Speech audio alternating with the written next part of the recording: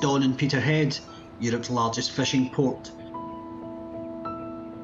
But today there is little to look forward to.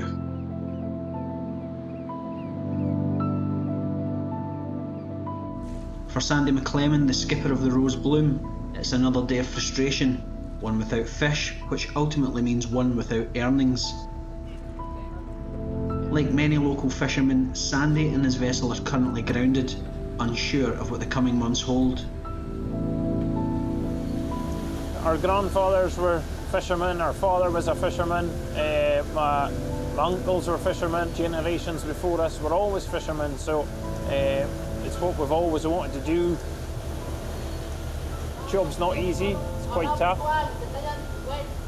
Lots of lots of different challenges, but uh, none more so than Brexit just now, I suppose. Last year, over £200 million of fish were landed in Peterhead, a record haul.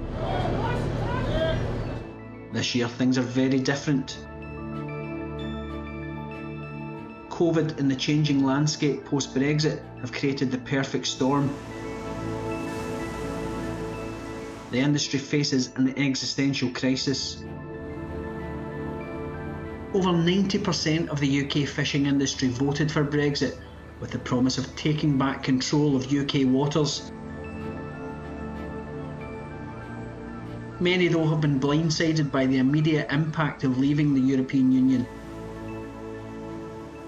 The UK government initially promised to reclaim 80% of EU fish caught in UK waters. This has failed to materialise. British fishermen will only receive a maximum increase of 25% over the next five years. I think the, the whole UK fishing industry was disappointed because we uh, we didn't get the sea of opportunity that we that we thought there was going to be. You know, there was there was talk about increasing the fleet to catch the extra quota that we'd, we would get. And here we are in February and we're speaking about possibly needing to decommission boats. You know, the, the fleet is going to is going to shrink this year. That's not a sea of opportunity. Around three quarters of fish caught in Scotland are exported to the EU, but with COVID 19 forcing restaurants to close throughout Europe, large parts of that market have disappeared. This has forced the Peterhead auction to limit sales. If they allow too many fish to be caught and brought in for sale, it risks driving down prices. With less fish to catch, around a third of fishing vessels in Peterhead are currently grounded. Some days no fish were landed at all. I'll send it to you. I'll show you a video. Get, get it! Jimmy and John are old friends and prominent figures in the Peterhead fishing industry. Both former skippers of their own vessels, they have close to a century of experience between them. That's a bad deal for Brexit. Jimmy is one of the few people in the fishing industry who remain confident that Brexit will be a success. No, John, I'm not taking that. You've just seen four days at Easterly Wind. The fleet haven't even gotten their quota yet. That's scaremongering. You must stop this. It's not unusual for any day, any one day, to have no fish in Peterhead. Is nobody considering there's a pandemic even though there's no demand? We're the best of pals, actually. But we always agree to disagree politically because I'm in one, one camp and he's in the other. And, and I've, I remain optimistic and positive, uh, and he would like to, to he would like to prove me wrong by saying Brexit was the wrong thing. Okay, Kevin. For Jimmy, who now sells fish directly to local customers, Brexit is an opportunity lost. He believes fishermen were right to want to leave the EU, but they have been let down by the UK government. See you tomorrow. Yeah, have a good day. Cheers. I'll tell you why I'm frustrated, because everyone wants to blame me or blame every fisherman for Brexit. All I wanted was this not to happen an empty harbour. The fishermen wanted a better allocation of the, the, the, quota that swims around our coastline in the United Kingdom. And what is so wrong with asking for that? It's the Prime Minister signed up to a bad deal. It's simple. I'm not going to try and dress it up. I remember Theresa May saying, no deal is better than a bad deal.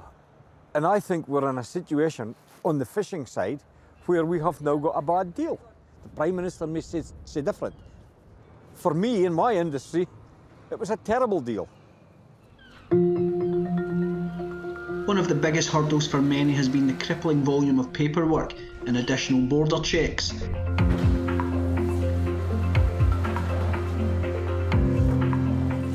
Graham Tallis is the owner of GT Seafoods, a fish processor based just a stone's throw from the Peterhead market. Specialising in whitefish, he predominantly exports to Europe. This used to be a seamless process. The day from the auction, uh, we, we, purchased this monkfish.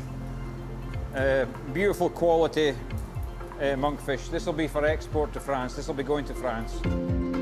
Despite Brexit in part being a backlash against perceived EU bureaucracy, exporters in particular are now faced with complex and time consuming systems.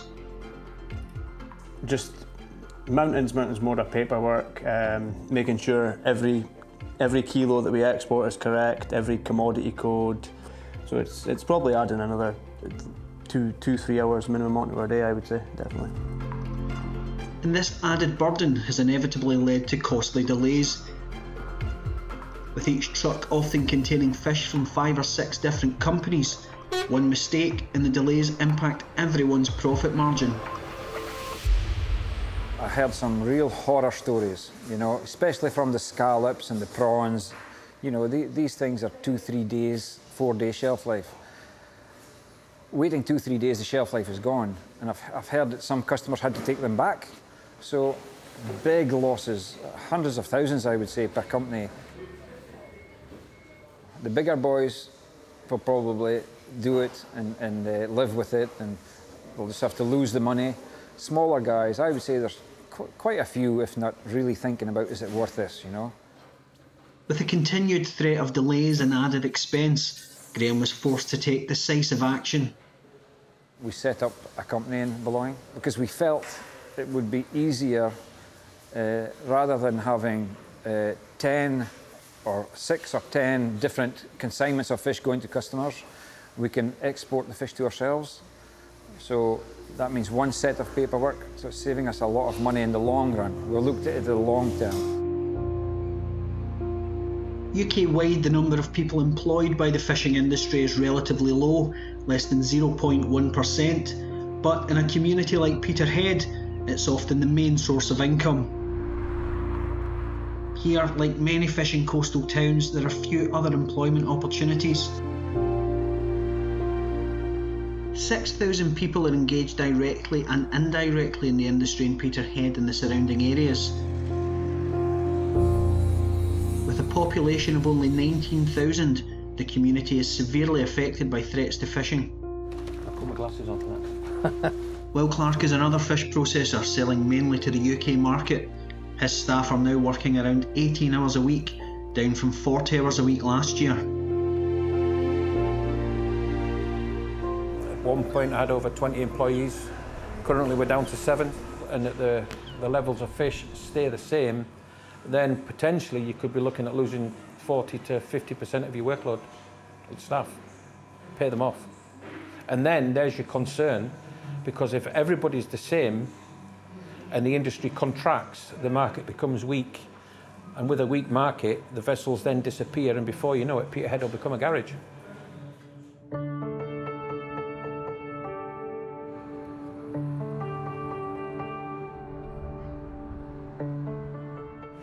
We're all integrated. You know, people say they don't work in the fish. No, but they make the living from the fish.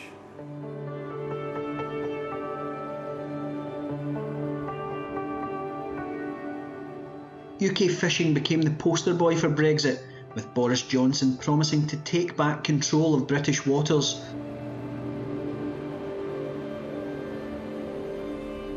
For many, though, the fishing industry simply became a pawn in the wider negotiations with the EU. We just saw it as a complete sellout. You know, he sold us out going in, and it was obvious that Boris Johnson had now sold us out coming out because it was a political decision at the end of the day. It now leaves our industry in a perilous position and most of our key commercial species, in terms of the haddock, the cod, the saithe, we have significantly less to catch now than we did previously. We're not a big industry, but you know, we're coastally, we're, a, we're an important industry. If we have to consolidate, then what you'll probably find is those with the deepest pockets will own the industry at the end of the day, and men are going to lose their jobs. The only certainty the fishing industry can look forward to this year is continued uncertainty, uncertainty only exasperated by COVID 19. The fishing industry has faced challenges before. For many, the outcome of Brexit is just more disappointment in a long line of disappointments. For some, these are anxious times with no real certainty of what the future will bring. While others remain hopeful that UK fishing will bounce back and relationships with their continental customers can flourish. John, the point I'm trying to labour here is, you told me 32 years ago, that's it, it's finished. I remember clearly, oh, Jimmy says, that's it, we're finished. There's not a haddock in the North Sea. And I went home quivering in my boots thinking, have I done the right thing investing my, all my life into this fishing industry 32 years ago? Every year since we did well. Now we're in a dip just now, and I'm confident that we will come out to the other side of it.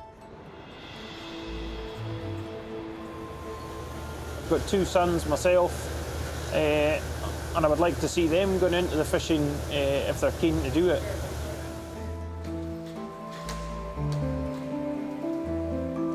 Going to be a real struggle, but hey, we're fighters. You know, the Scottish are fighters, and we will fight our way through. Same as the fishermen, processors, strong people here. So we have to be strong. One thing is clear the UK government has lost the trust of fishermen. Maybe forever.